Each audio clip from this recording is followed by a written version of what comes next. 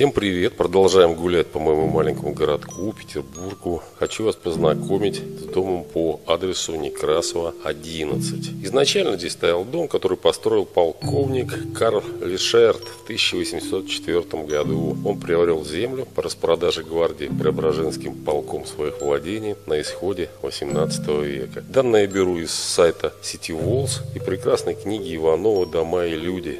Просто обязан это, конечно, рассказать, потому что я задерживаю выдержки и из этих книг, и из различных других изданий. Так вот, построил здесь дом Карл Лишер. Раньше называлась просто эта улица, 9 роты. Э, продается дом в 1804 году. Приобрел ее полковник русской службы граф Морелли. Анекдотическую историю рассказали про графа Морелли. Как-то Потемкин узнал, что есть во Флоренции скрипач граф Морелли. И послал туда своего адъютанта. Для того, чтобы тот его выписал в России. Ну, и чтобы он здесь играл на скрип.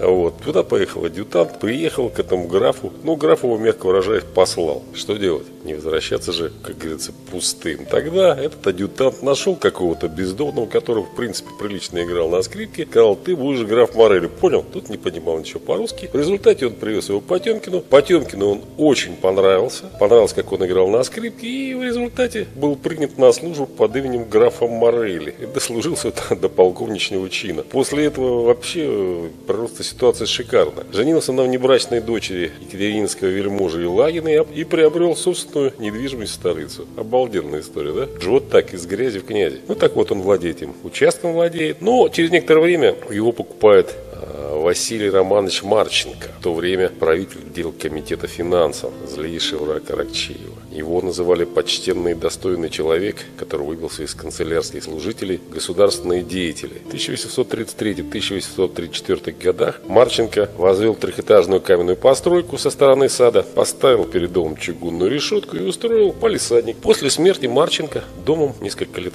владеет его вдова, а в начале 1850-х годов он переходит к коммерции советника Василия Александровича Кокарева. Ну, тоже интересная судьба у человека. Родился в 1817 году в семье мещанина, который служил сидельцем в кабаке, или, как говорили тогда, целовальник. А целовальники – это должностные лица в русском государстве, которые выбирались земщины в уездах, на посадах для исполнения судебных, финансовых, полицейских обязанностей. Это избранный человек, он клялся выполнять свои обязанности и в подтверждении целовал крест. Ну вот отсюда и появилось такое слово «целовальник». Ну и с детских лет Василий помогает отцу, приобрел большую опытность, необходимые навыки к винному делу. Приезжает в столицу, поступает простым продавцом в винную лавку, но благодаря исключительному уму и энергии становится откупщиком и наживает громадное состояние. Он основывает банки, страховые общества, первым начинает добывать нефть на Кавказе, строит Уральскую горнозаводскую дорогу. И в 1860-х годах Кокарев уже крупный промышленник, обладатель многомиллионного капитала. Но и либеральный деятель. И вот э, его заносит в черный список подозрительных лиц московского генерал-губернатора Закреевского. Он приписал напротив фамилии Кокарева. Западник, демократ и возмутитель, желающий беспорядков. А в письме к графу Орлову он относительно Кокарева говорит так. Давно бы пора унять этого вредного честолюбца, который при стечении счастливых обстоятельств, выскочив из целовальников и приобретя своим кабацким богатством значение в обществе, особливо в народе и связи между литераторами, не в первый раз уже смеет печатать свои уроки править. Вот такое мнение было о Кокареве. В 1869 году Кокарев продает участок другому промышленнику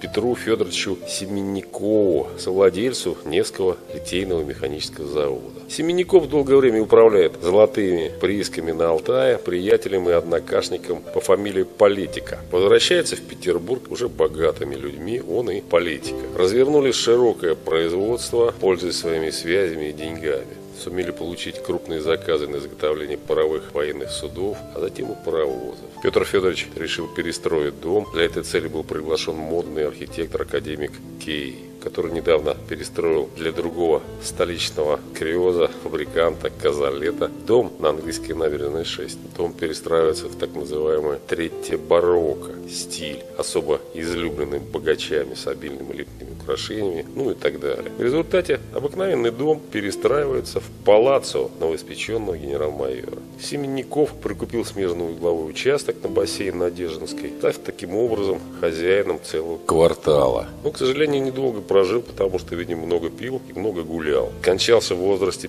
53 года. Прошло несколько лет, его вдова Зинаида Николаевна вышла замуж за чиновника Полежаева. После ее кончины все состояние перешло к дочери от первого брака Ольги Петровны Кушелевой или Кушелевой, не знаю, как поставить ударение, которая жила в доме с двумя неженатыми сыновьями, служившими ротмистрами в кавалерийских полках. Пришла революция и благополучному существованию Кушелевского клана пришел конец. В опустевшем особняке сначала обосновался антикварный магазин «Бюро искусств», который торговал частной коллекциями тех людей, которые уезжали из России. Немного позднее, в 18 году, здесь открылся Дом литераторов. Он был очень знаменит, а просуществовал до 1922 года. Вот как о нем пишет поэт Георгий Иванов. На проклятой Богом территории Северной коммуны, где людям, не желавшим или не умевшим шагать в ногу с пролетариатом, оставалось только ложиться и умирать, был создан и отгорожен клочок, где они могли не только как-то кормиться, не только греться в относительном тепле, но это было самое важное – дышать. Вот так говорил поэт